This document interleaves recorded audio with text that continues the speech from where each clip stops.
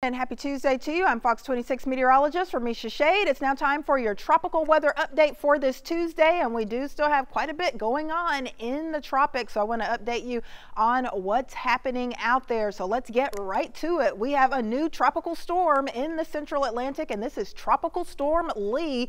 We also have a strong tropical wave developing in the eastern Atlantic. It rolled right off of that west coast of Africa, and it is already looking fairly impressive.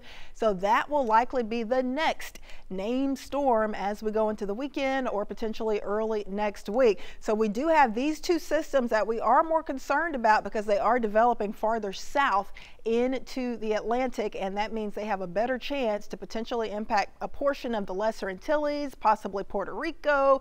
Haiti, Dominican Republic, and maybe make it all the way to the east coast of the U.S. At this point, the good news for us here in Southeast Texas is the fact that these storms are not expected to push into the Caribbean, at least at this point, and they're likely not going to make it into the Gulf of Mexico. But if that track were to shift farther south, then that would be a different story. So we'll be monitoring it closely. But right now, it looks like Tropical Storm Lee, newly formed Tropical Storm Lee, will remain in the Atlantic, likely getting close to Puerto Rico and close to the Lesser Antilles as we get into the weekend.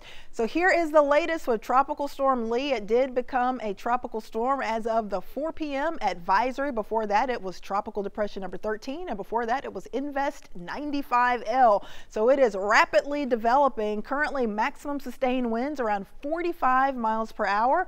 Movement to the west northwest at 16 miles per hour, and pressure at 1,005 5 millibars. So this system is expected to really start to intensify quickly. It means business. It's not going to wait around to strengthen. In fact, by this evening and tonight, we are expecting it to continue to strengthen. And even into tomorrow, it will be getting closer to category one hurricane status. Still a very strong tropical storm around 1 p.m. Wednesday with 70 mile per hour winds. The forecast then calls for Lee to become a hurricane, likely a category one hurricane by Thursday afternoon with 90 mile per hour winds. So you can see that rapid strengthening as it moves over the very warm waters that we have out there in the Atlantic. More concerning as we get into Friday and Saturday, Tropical Storm Lee is expected to be a hurricane, of course, but it should turn to a major hurricane, a Category 3 hurricane by Friday afternoon. And forecasts are even calling it to become even stronger, likely a Category 4 hurricane as it gets closer to the Lesser Antilles and closer to the Puerto Rico area by Saturday. So 1 p.m. Saturday, 140 mile per hour winds. Of course, category five is as bad as it gets on the Saffir-Simpson scale. No forecast for category five just yet, but a four is a very powerful and very dangerous hurricane. That's why we are going to have to monitor what happens with Tropical Storm Lee very closely because it could have some major impacts to portions of the Caribbean islands. And eventually, if it holds together, it could continue that track off to the west northwest and make it to the east coast of the U.S. So this is one that we are monitoring very closely. I want to switch gears and show you the computer model forecast for Tropical Storm Lee. And it's going to be very similar to the official National Hurricane Forecast. That movement expected to still remain to the west northwest. Now I want to move over to some of the Caribbean islands. You can see Puerto Rico there, Dominican Republic.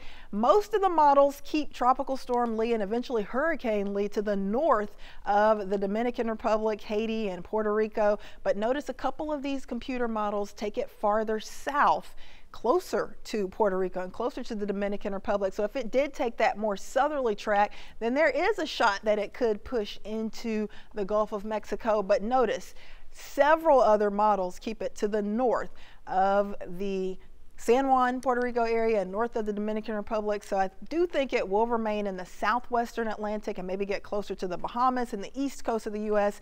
instead of the Gulf. But of course, we'll have to watch it closely and we will keep you updated as that forecast shifts a little bit. Tropical Storm Lee is not the only thing that we have out there. Of course, we do have Lee in the central Atlantic, but off to the east of Tropical Storm Lee, we have another concerning tropical wave because it is a very impressive and strong looking tropical wave here right off of the west coast of Africa with a 30% shot for development over the next 48 hours, but a high 70% chance for development over the next seven days. And it is pushing off to the northwest, so this will likely become our next named storm as we go into the next couple of days. Also, we're still monitoring post-tropical Franklin way up in the northeastern Atlantic. Not much of a chance for this to turn back into a tropical cyclone, just a 20% chance over the next seven days. It's in some cooler waters up there, but the Hurricane Center did just want to mention that there is a very slim shot that that could once again regenerate back into a brief tropical depression or tropical storm, but the chances of that very small. Let's check out what's happening in the Gulf of Mexico. Unfortunately, things are quiet, so nothing that would be threatening us anytime soon. But of course, we'll be watching to see what happens with Tropical Storm Lee, which will become Hurricane Lee, likely in the next 24 to 48 hours.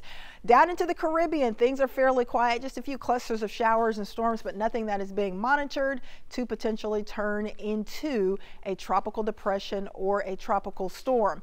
So I do want to talk about what's happening with our sea surface temps, our water temperatures in the Gulf, in the Atlantic, and the Caribbean. They are still extremely warm. In fact, notice some of these temps in the Gulf of Mexico, very close to 90 degrees. It's the same story in the Caribbean, same story in the Atlantic, and that is one of the reasons why we're expecting Lee, which is a tropical storm, to strengthen into a hurricane so quickly. Those warm waters, of course, acting as that fuel for these tropical cyclones to rapidly develop, intensify, and become very dangerous. So we've already gone through several names for the 2023 tropical season, our hurricane season for this year. Of course, we added Lee to that list as of a few minutes ago. The next name on the list would be Margot and then Nigel. So, of course, that strong tropical wave that just came off of the west coast of Africa could become Margot over the next couple of days. So, we'll be monitoring things closely. But we certainly have a lot to worry about because we've still got to get through the peak of hurricane season, which is September 10th, and then the remainder of September and even into the first half of October.